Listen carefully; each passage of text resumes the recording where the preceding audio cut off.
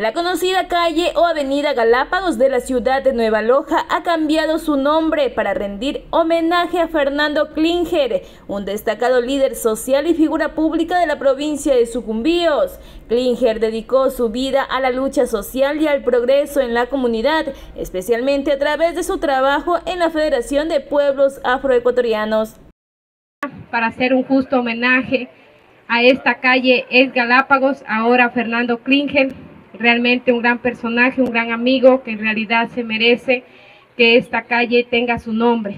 para como un legado que ha trabajado muchos años por el turismo, por el bien común de sus compañeros, de sus amigos, de su familia. Entonces, en realidad, como gas municipal del Cantón Laguario, a nombre del ingeniero Abraham Freire, también hacer extensivo un cordial saludo a ustedes, de su alcalde, que siempre trabaja en beneficio de cada uno de todos quienes hacemos este bello Cantón Laguario. Así que en esta mañana nos une un motivo muy, muy bonito, en el cual hoy deja de ser la calle Galápagos y pasa a ser la calle Fernando Klinger. Uno de los gestores también de este parque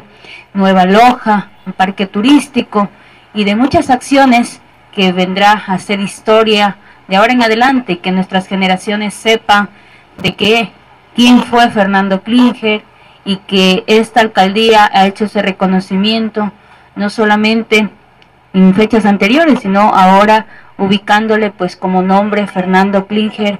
a esta vía que se llamaba anteriormente Galápagos. La decisión de renombrar la calle fue tomada por el Consejo Municipal y ha sido recibida con entusiasmo por familiares, amigos y conocidos de Fernando Klinger, quienes expresaron su emoción y alegría por este reconocimiento a su legado. Ahora esta avenida llevará con orgullo el nombre de Fernando Klinger, un merecido tributo a su impacto en la sociedad. Primeramente en mi corazón está un agradecimiento a Dios al pueblo afro, a la alcaldía, un agradecimiento inmenso y una alegría que pues rebosa de mi corazón. Para TVNet Noticias, Viviana Chica.